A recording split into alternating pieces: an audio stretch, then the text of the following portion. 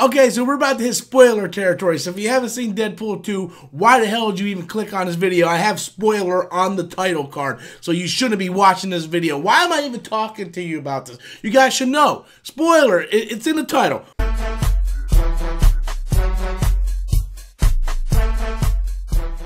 Hello everybody, welcome back to the channel once again. I'm Robert Storms. If you're finding me for the very first time, be sure to click that subscribe button. I upload videos daily. Today is my Deadpool 2 spoiler-filled review. And I know what you're thinking. And the first thing on your mind, why am I wearing the same shirt as yesterday? Well, that's because I filmed my spoiler free and my spoiler review at the same time to try to save time.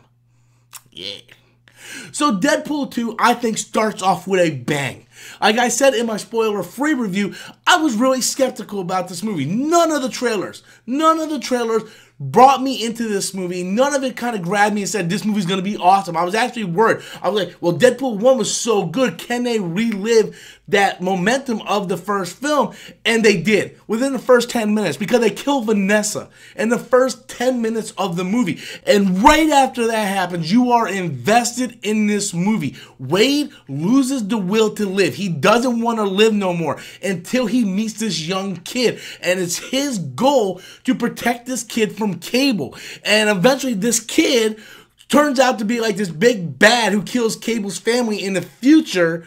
And it's up Deadpool to try to protect him from Cable and try to prevent this kid from turning into this giant supervillain. And then the kid becomes friends with Juggernaut.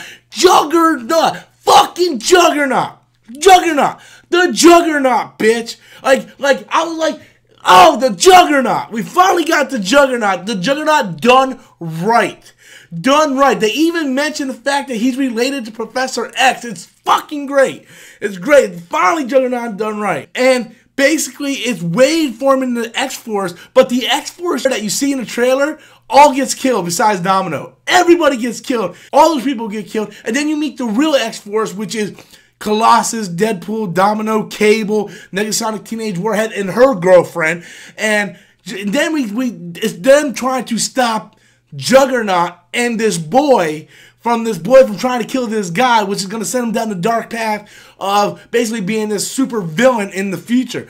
And I was just invested, invested because you see different layers of, of Wade in this. You see different layers of, of a guy who who doesn't want to be alone. He wants to die. His whole life has died because of stuff that he has done and he feels guilty for that. And he's trying to be with Vanessa. He wants to be with Vanessa in the afterlife. And the movie was done so well. The jokes were on point. I mean, he's making fun of stuff in the Marvel universe, the DCE universe, the X-Men universe. We see cameos of the X-Men of the first class, like Beast and James McAvoy's Professor X. We get to see all that stuff in this movie. So it's like they kind of took a larger budget you know, compared to what they had in the first movie, and they used it the right way. In my spoiler free video, I mentioned a couple nitpicks. One of them was the CGI. There is plenty parts in this movie where the CGI just looks horrible. And that is whenever you see Juggernaut from like a far distance, because Juggernaut's this huge giant man.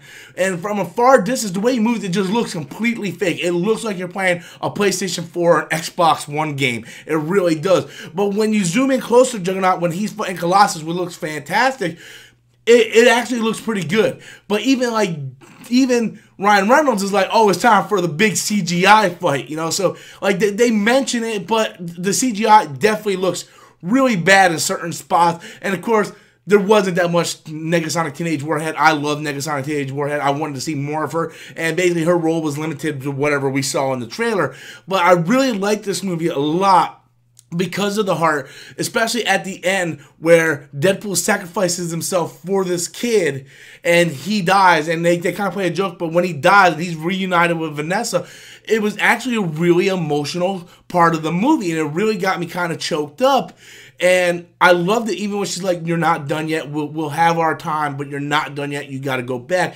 And it was really a touching and emotional part of the movie that you wouldn't expect from a Deadpool movie, and it just had me invested. It was so good. And then the end credit scene was probably some of the best, and it, it has to be my favorite end credit scene I have ever seen because you have Deadpool, who Negasonic Teenage Warhead fixes Cable's time machine, and Deadpool goes back in the past and he rights all the wrongs. Like he goes back, he saves Vanessa. So if the end credit scene is canon, then Vanessa's alive now. He saved that one Peter Peter Wisdom or whatever the guy's name is from um the X Force that joined him, saves him. Then he goes back to X Men Origins and kills himself. He kills the Deadpool from X Men Origins, and then he goes and assassinates Ryan Reynolds, who's looking at the script for Green Lantern. Hilarious, fucking great. The best end credit scenes I have ever seen in a movie is so fucking good, so great. This movie well exceeded my expectations. I went in this movie and I just had fun from start to finish. There was no moments where I was like, oh, this is getting kind of slow. Can we speed this up? Can we speed this up? It was like boom, boom, boom. Had a great time the entire time. Fantastic movie. I, I, I really want to know what you guys think. Have you seen Deadpool 2? What did you think? Be sure to leave your comments in the comment box below. Did you guys like it as much as I did? Did you go in with low expectations?